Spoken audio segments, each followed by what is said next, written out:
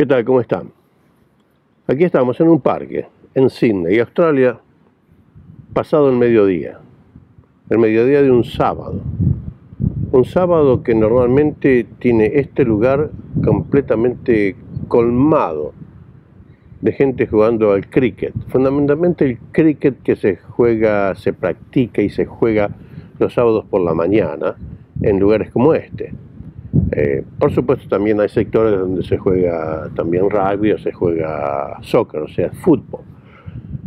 Pero hoy no está pasando, porque todas esas actividades han quedado restringidas, sugeridas.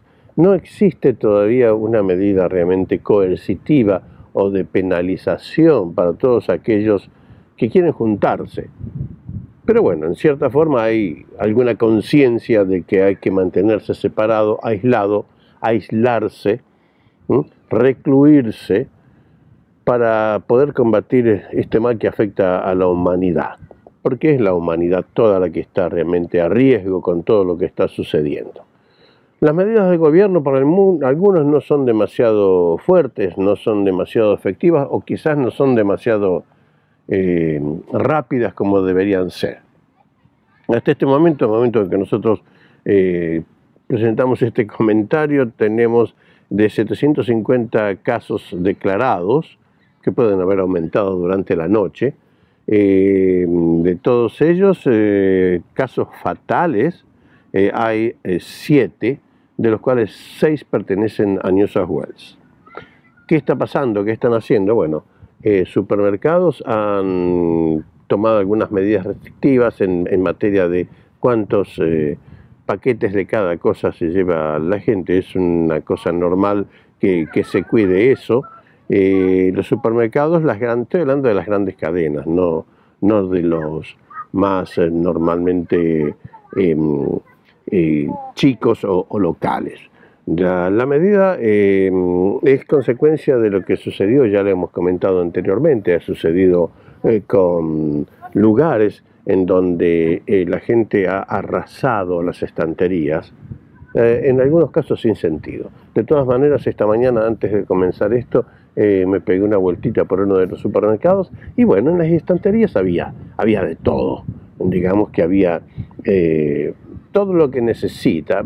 Faltaban algunas cosas, sí, pero no era como para volverse loco. Porque como dije en comentarios anteriores, la costumbre aquí en Australia era tener siempre los shelves completamente llenos de mercadería. Bueno, em, sí, en algunos momentos faltó pasta, faltó, faltaron vegetales, pero volvemos al mismo tema de antes.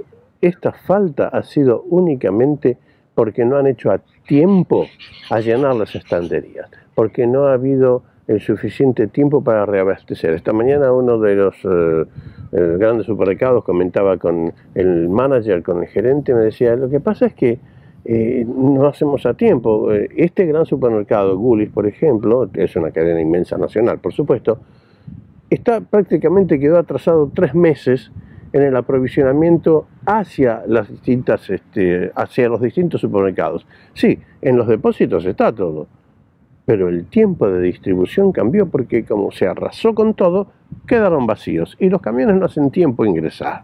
Los camiones eh, tienen un límite de horario de los cuales los premieres de los estados han pedido levanten eh, esos límites de horarios para poder, a los diferentes municipios, para poder permitir el ingreso de los camiones a cualquier hora, porque obviamente eh, eso va a facilitar y va a agilizar el aprovisionamiento. Pero según los reportes de esta mañana, hay provisión para tres Australias completas. O sea que en los depósitos, sin contar lo que se está eh, produciendo en este momento, hay este, mercaderías y supplies de todo tipo para alimentar 25 millones tres veces.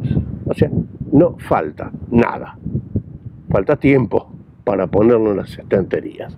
El gobierno nacional, como los estatales, eh, siguen insistiendo en la protección personal y esto se ha hecho en todo el mundo, por supuesto manteniendo distancias y no permitiendo congregar gente en más de, de, 100 personas a la misma vez. Pero todo esto se va restringiendo también, la distancia primero era un metro y medio por persona, dos metros, ahora son dos metros cuadrados alrededor.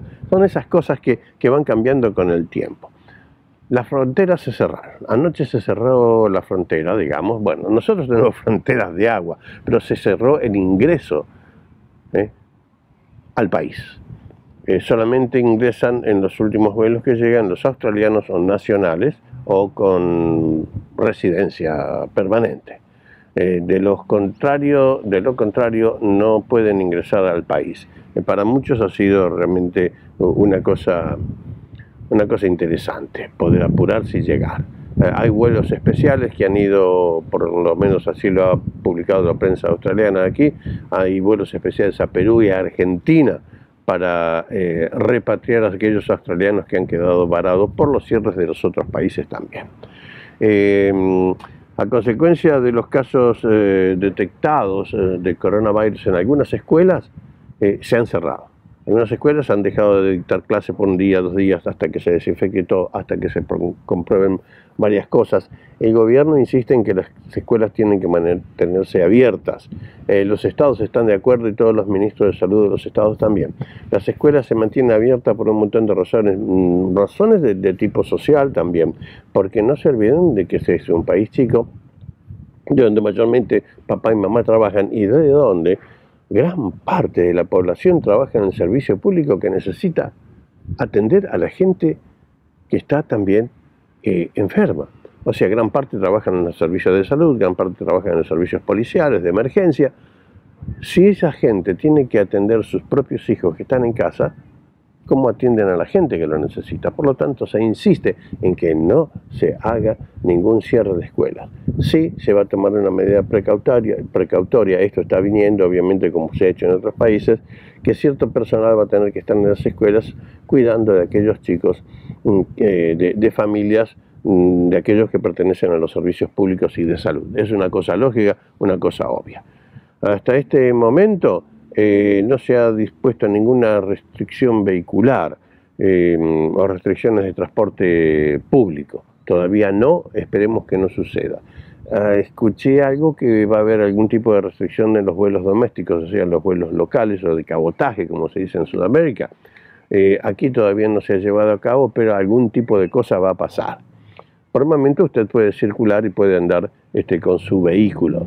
Eh, se insiste, esté en casa, no se mueva, no se reúna innecesariamente, no viaje innecesariamente, atienda sus servicios necesarios, haga sus compras, vaya a la farmacia, vaya al médico, pero no haga contacto con los demás innecesariamente. Por suerte, yo aquí todavía estoy solo. Hay algunas familias, habrán escuchado en el background a lo mejor, gente paseando el perro, algunos jugando, jugando con sus hijos, pero no muchos. Yo creo que en todo el parque no puedo ver más de, 10, 15 personas. Y este es un parque grande. Esto es lo que le quería comentar eh, hoy, sábado mediodía. Lo que vaya a suceder dentro de media hora es otra historia. Gracias. Hasta la próxima.